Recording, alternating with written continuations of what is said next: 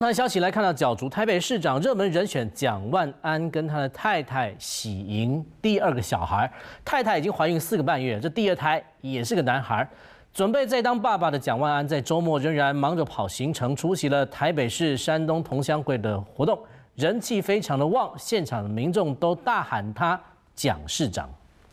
面点。牵着儿子，带着妻子，二零一六年刚当立委的蒋万安到立法院报道，三人行预计变成四人行。现在太太的肚子里又有了小宝贝，二儿子在肚子里有四个半月啦，大儿子一转眼也长大了不少，之前还可以跟着爸爸开记者会，如今有了差十岁的弟弟，全家人都期待了很久。老天爷愿意给我们一个二宝，我们非常非常的开心。其实我们有一次开记者会，就是讨论怎么样能够解决少子女化问题。晚上有时要出门帮太太买想吃的东西，选台北市长呼声极高的蒋万安，周末行程还是满档，随时还要应民众要求来一首。